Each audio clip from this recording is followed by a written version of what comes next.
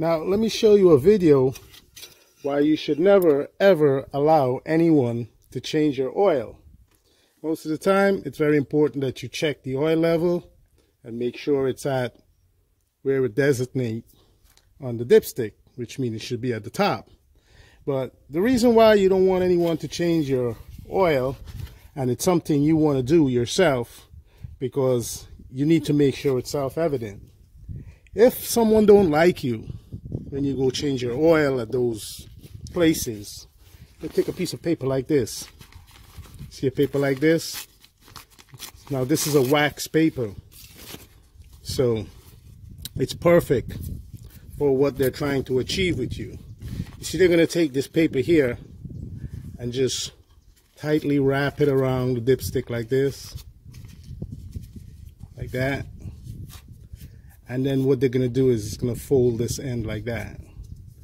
Now they're going to take this dipstick and put it down the tube like that and push it all the way down in the bottom of the oil pan. When this gets to the bottom of the oil pan, this part here comes out of the tube. When it comes out of the tube, this is what happens to the paper.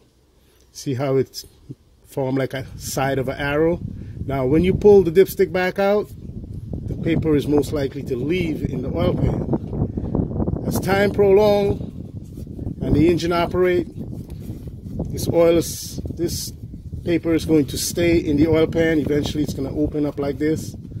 And always it will end up in the pickup sump where the oil have to suction from the oil pan to circulate up into the engine.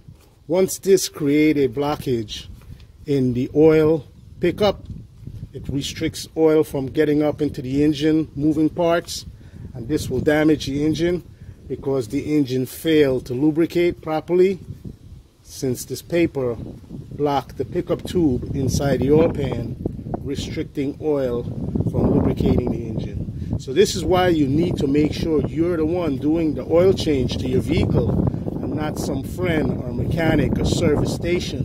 Because once this engine goes bad, it's going to start knocking and it's not going to run anymore. You're going to have to buy a new engine and that means money for them, money for the guy who's buying the engine, and you are screwed.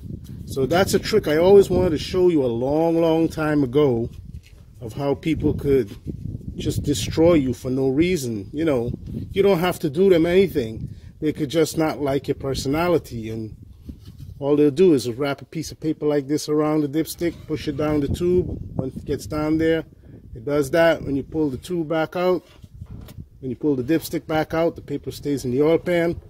Block the sump, the pickup in the sump, the oil pan sump, and this will restrict oil from getting up the engine, damage the engine, and you have to spend thousands of dollars to replace an engine.